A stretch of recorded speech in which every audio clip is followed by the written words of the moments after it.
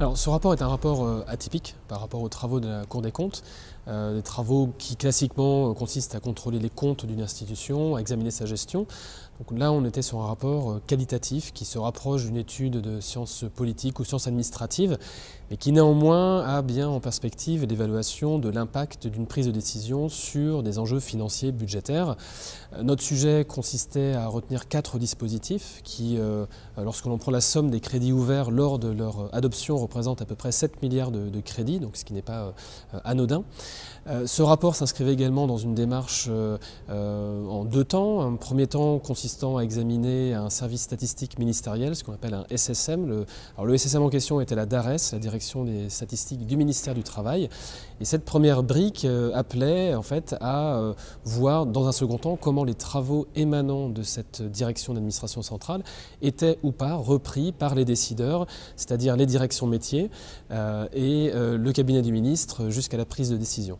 Tout ça aboutit à euh, un référé ensuite fait par le premier président au premier ministre puisque la Cour des comptes a jugé particulièrement utile d'interpeller le premier ministre et donc l'administration via le secrétaire général du gouvernement sur ce sujet, sur les constats dressés.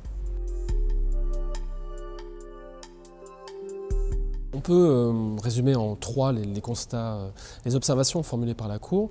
Un, une hétérogénéité flagrante entre les euh, quatre études d'impact que nous avons étudiées, entre des études d'impact plus euh, politiques euh, qui venaient dire, accompagner une décision politique qui avait déjà été prise préalablement dans un programme politique, une étude d'impact donc inverse, antagoniste tout à fait élaborée puisque résultant d'un processus décisionnel associant des parties prenantes pendant plusieurs mois, donc la prime d'activité, et puis entre les deux des études voilà, plus ou moins développées euh, et dans leurs constats et dans les impacts euh, anticipés liés à la prise de décision.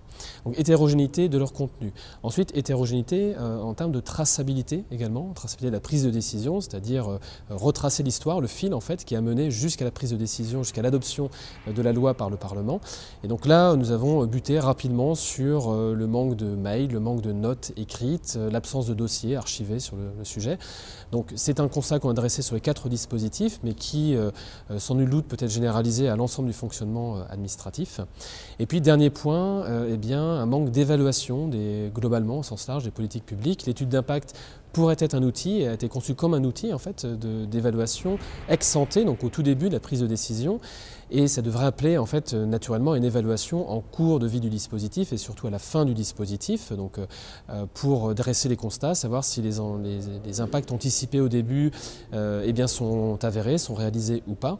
Donc c'est en ce sens que l'on pointe un manque d'institutionnalisation de la démarche d'évaluation euh, à travers l'étude d'impact, qui ne suffirait pas en tant que tel, mais qui normalement devrait être un élément important pour justement engager ce processus, ce cercle vertueux d'évaluation et de correction des décisions politiques, si celle-ci doit être corrigée, amendée euh, ou euh, prolongée dans le temps.